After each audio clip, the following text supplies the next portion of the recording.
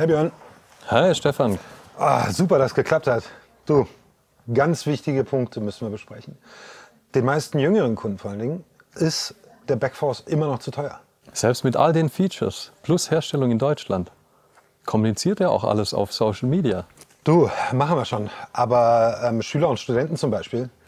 Also geil wäre halt ein Preispunkt für die jüngere Kundschaft, gerade so unter 400 Euro ne, zum Einstieg. Unter 400 Euro. Selbst die Konkurrenz aus Fernost, die hat die Preise angepasst. Also dir ist schon klar, wo wir die Stühle dann produzieren müssten.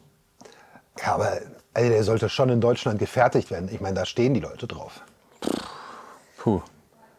Also da gibt es nur noch wenige Möglichkeiten. Es gibt schon noch Materialien, aber da ist dann mit blauem Engel und Nachhaltigkeit und Carbon Footprint, auf den Stuhl setze ich mich nicht mehr. Ey, das, äh, nee, das ist ungünstig. Also, weil kurze Transportwege, Nachhaltigkeit, es sollte schon gegeben sein.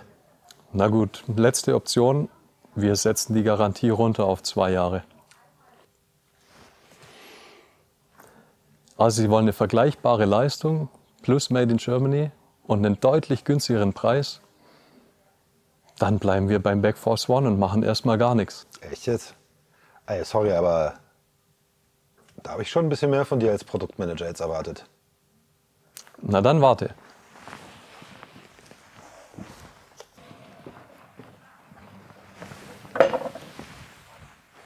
Hier, die B-Regulette von 1962, unser erster Stuhl.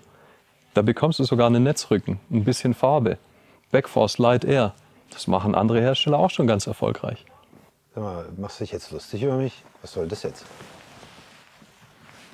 Der Berliner mit seinen Schnapsideen, das kann doch nicht sein. Wo haben Sie den denn ausgegraben?